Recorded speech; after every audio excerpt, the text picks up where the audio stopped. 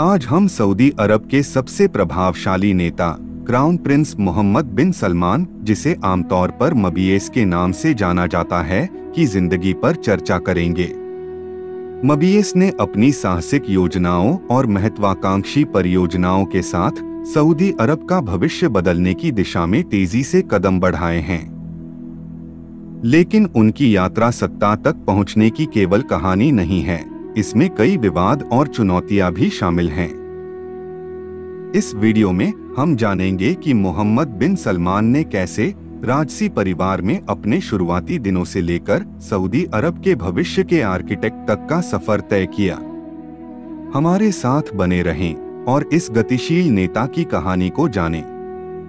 Mohammad bin Salman का जन्म 31 अगस्त 1985 को रियाद, सऊदी अरब में हुआ था। वे सऊदी अरब के राजा सलमान बिन अब्दुल अज़ीज़ अल सौद और फहदा बिन फालाह अल हिथलैन के पुत्र हैं। उनके छोटे उम्र से ही सऊदी अरब के शासकीय कामकाज के साथ संपर्क में आने का मौका मिला। उन्होंने अपनी शिक्षा सऊदी अरब में ही पूरी की और रियाद की किंग साउद यूनिवर्सिटी से कानून में डिग्री प्राप्त की, जहाँ उन्होंने अपनी कक्षा में दूसरे स्थान पर स्नातक की डिग्री हासिल की। मबीएस की राजनीतिक क्षेत्र में प्रवेश की शुरुआत छोटी उम्र में ही हुई, जब उन्होंने अपने पिता के विशेष सलाहकार के रूप में काम किया, जब राजा सलमान रियाद के गवर्नर थे। इस अनुभव ने उन्हें शासन और कूटनीति की जटिलताओं को समझने में मदद की। जैसे जैसे उनके पिता की सत्ता बढ़ी मबीएस ने भी सरकारी जिम्मेदारियाँ संभालनी शुरू की। 2015 में जब राजा सलमान ने सत्ता संभाली, मोहम्मद बिन सलमान को रक्षा मंत्री के रूप में नियुक्त किया गया, जिससे वे दुनिया के सबसे कम उम्र के रक्षा मंत्रियों में से एक बने।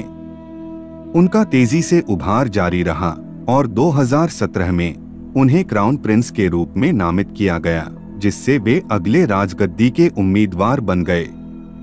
क्राउन प्रिंस के रूप में मबीएस सऊदी अरब के प्रभावी शासक बन गए हैं।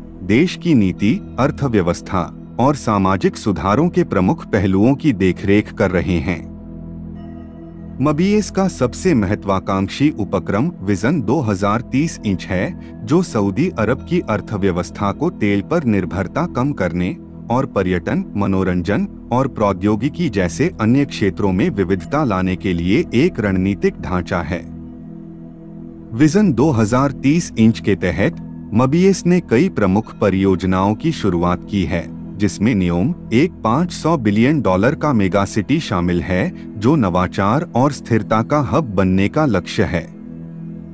उन्होंने विदेशी निवेश को आकर्षित करने और सऊदी अरब के भीतर उद्यमिता को प्रोत्साहित करने के लिए भी काम किया है। मबीएस ने कई सामाजिक सुधार भी किए हैं, जिन्हें प्रशंसा और आलोचना दोनों मिली हैं।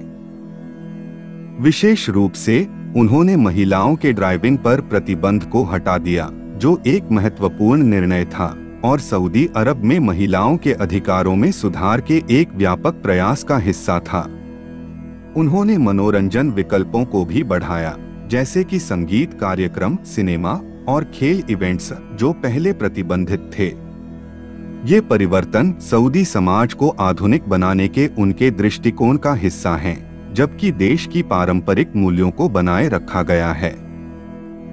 हालाँकि सऊदी अरब को आधुनिक बनाने के उनके प्रयास बिना विवादों के नहीं रहे हैं।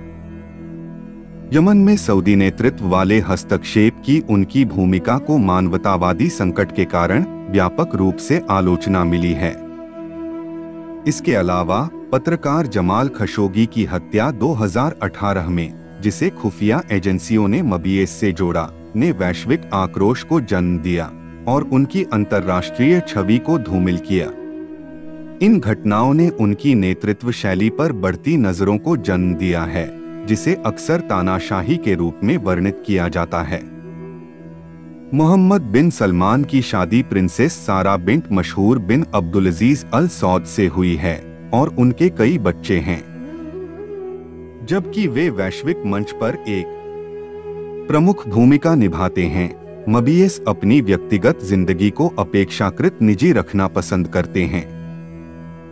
उनके परिवार के संबंध सऊदी अरब की राजसी परंपराओं में गहराई से जुड़े हुए हैं और उन्हें देश की विरासत के संरक्षक के रूप में देखा जाता है, जबकि वे बिना पूर्व देखे हुए परिवर्तन को आगे बढ़ा रहे हैं। क्राउन प्रिंस के रूप में मबीएस सऊदी अरब के भविष्य को दशकों तक आकार देने की स्थिति में हैं। उनका महत्वाकांक्षी विजन 2030 इंच योजना, साथ ही अर्थव्यवस्था और समाज में सुधार की उनकी कोशिशें, उनकी विरासत को परिभाषित करेंगी हालाँकि जो चुनौतियाँ वे घरेलू और अंतर्राष्ट्रीय स्तर पर सामना कर रहे हैं, वे भी यह तय करने में महत्वपूर्ण भूमिका निभाएँगी कि उनके नेतृत्व को कैसे याद किया जाएगा इस वीडियो को देखने के लिए धन्यवाद। मोहम्मद बिन सलमान की युवा प्रिंस से सऊदी अरब के क्राउन प्रिंस बनने की यात्रा, महत्वाकांक्षा, शक्ति और परिवर्तन की कहानी है। चाहे उनकी सुधारों के लिए सराहा जाए या उनके विवादित निर्णयों के लिए आलोचना की जाए मबीएस का सऊदी अरब और दुनिया पर प्रभाव नकारात्मक नहीं किया जा सकता। अगर आपको यह वीडियो जानकारीपूर्ण लगा तो कृपया लाइक बटन दबाएँ, दूसरों के साथ शेयर करें और हमारे चैनल को सब्सक्राइब करें ताकि आप प्रभावशाली व्यक्तियों की और भी गहराई से जीवनी देख सकें। हमें टिप्पणियों में बताएँ कि आप अगले किस नेता या व्यक्तित्व को देखना चाहेंगे। तब तक सूचित और जिज्ञासु बने रहें।